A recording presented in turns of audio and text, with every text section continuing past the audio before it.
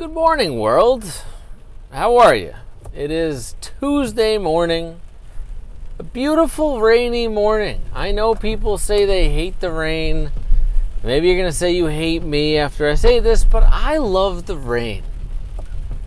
I, it, it's just, what's bad about it? You get wet? What, I mean, what are you going to freaking melt?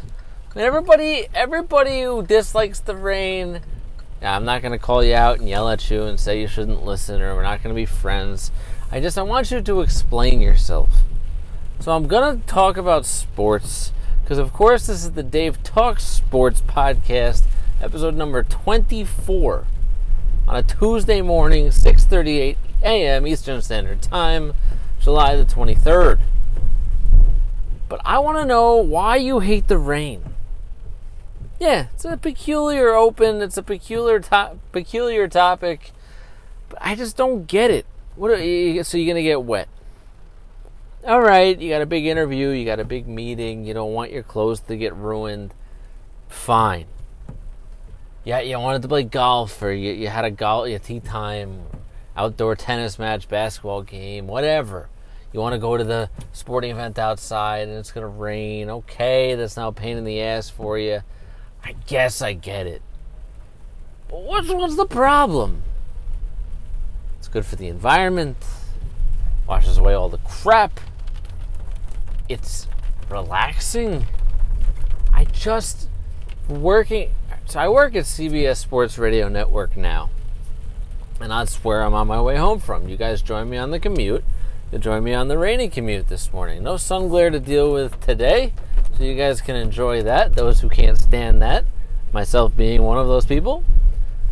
Before I, I became a full time employee at CBS Sports Radio Network, I worked for approximately nine years full time at a gym, full scale health club facility, and uh, I still work there part time. But all I listened to all day was everybody come in and bitch and moan and complain about the weather. And I get that you can't make everyone happy. It's a customer service job. And I guess if you put five, six, seven hundred different people under the same roof on a, any given day, now we had approximately 2,500 members, but on a given day, you're seeing between four, five, six, you know, hundred people. I get you can't make everybody happy, but it was an overwhelming majority of people, no matter what the weather was.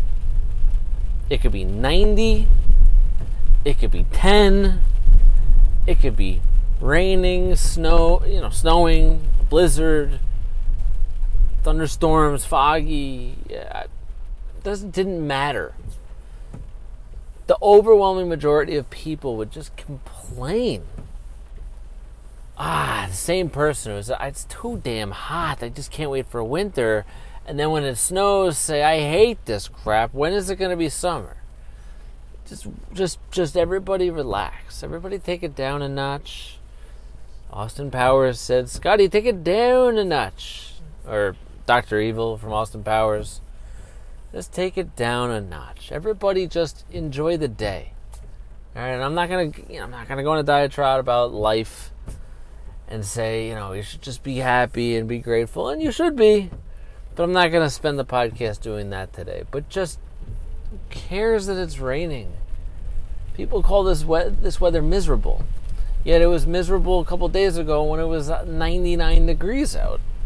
I mean, uh, uh, welcome if you live where I live, welcome to New York.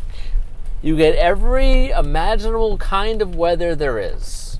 From 0 to 100 to rain, snow, fog, and anything in between. So just deal with it. On that to- on that note, on that lecture note, let's talk about some freaking sports, huh? So we're going to spend most of the time today talking about Major League Baseball and the netting at stadiums. Before I get to that, I just want to touch on a couple other news and notes. the Wizards have figured out their general manager situation and their front office situation, so now they're set to allegedly be set to offer Bradley Beal a, uh, a three year, $111 million extension. Got to be honest, I'm mentioning it because it's kind of one of the bigger stories right now, but I don't really care. The Wizards suck. John Wall is out for most of this coming season. Excuse me if I just hit the mic. Uh, so the Wizards are going to be absolutely terrible. And here comes the fun part of the drive where somebody is in my way for no reason. Let's give him a little honk. Thanks, pal. Got out of my way right quick. We can get ourselves home safely. By the way, if you don't know and didn't know that every day, I've been up for quite some time. I work overnight. I woke up uh, somewhere in the 4 p.m. range yesterday. Uh, some days you see me, I'm heading off to my other job, one of my other jobs. Uh, yes, I have four jobs. If you were wondering, I work at ESPN Plus, CBS Sports Radio Network, and two different gyms. Um, all told, and again, I'm not special. I'm not saying this because I'm special. Let's honk at our second person today. Yeah, get everybody moving this morning. Yeah, it's the pedal on the right. The one on the left stops the car. The one on the right goes. There you go. You got it. Um, I have four jobs. I all told work about 70 hours a week. And apparently, this is the get to know Dave Ettinger, the host of the Dave Talk Sports podcast, podcast, podcast, podcast. And it's just a little bit more about me. So, you know, I do what I got to do. I, uh, I like all of my jobs. Uh, I like working. I have a very solid work ethic, uh, something that I got from uh, my parents, uh, both of my parents, I can barely recall either of them taking a sick day as I was growing up. Um, you know, obviously, people you know, people get sick and things happen, but it's not just something that became a habit. Um, you know, still to this this day, they're both in their 60s. They still enjoy going to work on a daily basis, and I really got that from them. My older brother as well, and absolutely my wife is just one of the hardest working people I've ever met in my life. Uh, so it's all kind of been ingrained in me to just work hard every day and work towards the things that you really want.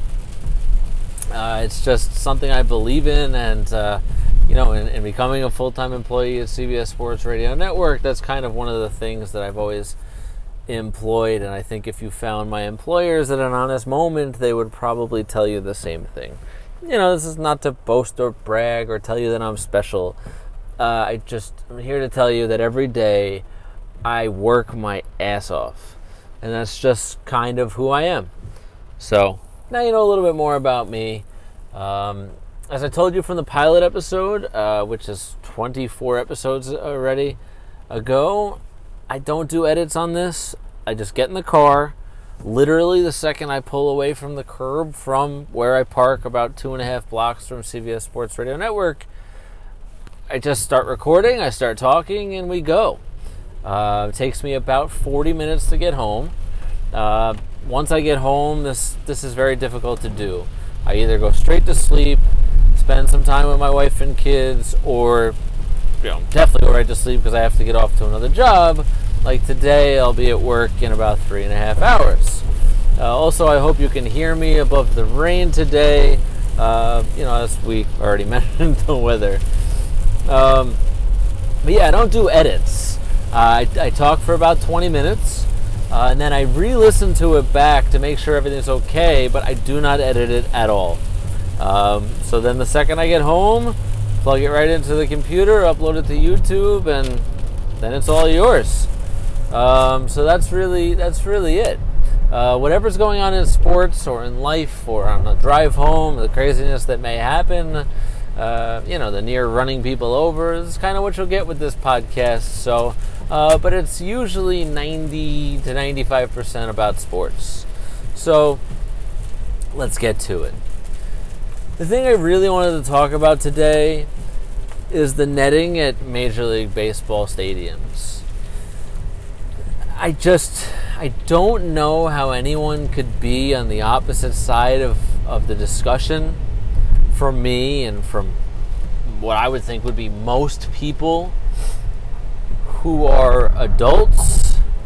Again, you don't have to have kids to feel this way, I don't think. But when you see a three year old, it could be a toddler, it could be an infant, it could be any child, it could be anyone, it could be an elderly person, or it could be a physically fit, athletic, former college athlete, former professional athlete. I don't care who you are.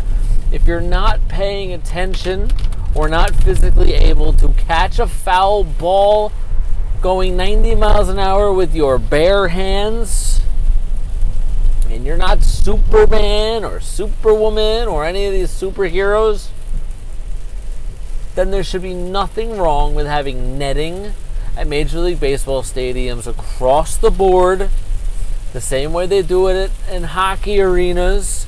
You got the glass and then you got netting as well that extends. A little traffic today, that's always fun. And uh, we almost got rear ended. I don't know if you could catch that one in the podcast. That was fun. But uh, yeah, little little traffic. So maybe you'll get more than 20 minutes of me today. We'll see. I just I physically don't understand anyone who can argue against putting up netting from foul pole to foul pole in Major League Baseball stadiums. Again, you don't have to have kids. I have kids. I have four children. I have a 19, 14, 12 year old and an 11 month old. And this is not just about the 11 month old, it's not just about the 3 year old, it's about everybody. And again, I played a lot of sports growing up. I played baseball and basketball all through college. I mean, through, excuse me, through high school. Uh, I could have potentially played in college. That's a, another story for another day. You know, I'm a pretty good athlete, but I, it's not to say that I'm going to catch a foul ball going 90 miles an hour with my bare hand. And even if I have a glove, I may not be paying enough attention. And if I want to glance down at my phone for a second, which most people are looking at a lot of the time, I don't want to have to worry that one of my kids could get hit with a foul ball. Now, while the odds are pretty slim and pretty low that you're going to be the one person out of the thousands and thousands of people in the stadium, it can happen, and it has happened. Somebody died at a Major League Baseball game, and it's still not mandated throughout all of the stadiums that they should have netting from foul pole to foul pole. I just don't know how you can see it any other way. When you see Francisco Lindor, I believe it was on Sunday, hit a three year old with a foul ball I, I mean, just what else has to happen for it to be unanimous and be required that this netting goes from foul pole to foul pole? I mean, that little girl, the Houston Astro Chicago Cubs game, where, where uh, Albert Almora Jr. hit a foul ball, just an absolute screamer, hits this three year old girl with the little pigtails and the ribbons in her hair hits her in the head, and now we're finding out she's got bleeding on her brain and, and skull fractures. I, I just, I don't understand. And I, I, I listen to, as part of my job and working in the control room at CBS Sports Radio Network, I, listen, I have to listen to callers. I have to listen to responses that come in on Twitter and Facebook and social media, and I have to listen to the hosts that I work for. And it wasn't the entire show, but I had to listen to a decent portion of the show where this was also a discussion. I'm not trying to put anybody down and I'm not trying to degrade anybody, but I just at at certain points in the show in a private moment, I work with another person in the control room I expressed myself privately, not on the air. I'm not on the air. I, I just talk to you guys. I just help push the buttons and do all the things that get the commercials played and get us on the air and make sure the mics and the volumes and everything, all the audio sounds right for everything that goes on the air. What you hear on the radio, I, you know, I, am responsible for making sure that sounds right and goes right. But I'm not there to give my opinion. I, I do that here. But I had to listen to a good portion of the show of people actually telling me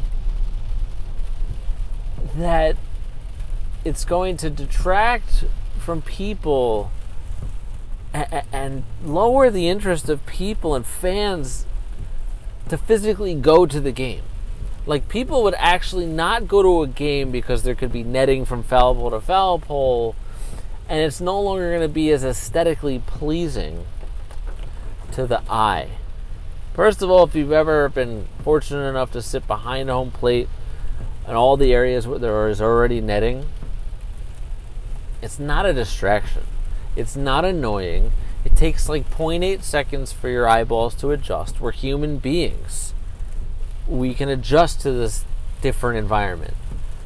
But really, if it's potentially saving a life or major injury to somebody, who cares? Who cares? I would let uh, more of a distraction, more of an obstruction be in my way if I knew that nobody was going to get hurt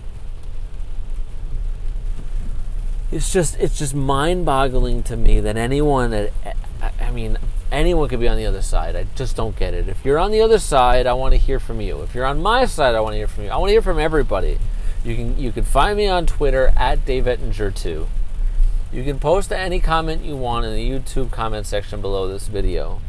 Please subscribe to the video while you're here, somewhere down here. And you can also follow me and find me on my website as well as my Facebook page, both named Dave Talk Sports. Dealing with a little traffic on the way home today. You may uh, get an extra couple minutes with me today. So hopefully you are enjoying and hopefully you're still listening to this point in the video. But I got to listen to people say that we're a bunch of babies now in 2019 that it's the sissification of America and the world. Like, and I think those things exist. I think that there's very little discipline for children nowadays, and I'm not, I'm not by any way means saying hit your kids. I don't believe in that. Again, I have four kids. I've never laid a hand on one of my kids, and I never will. You can you can use consequences and discipline and make your kids understand and talk to them. That I believe in.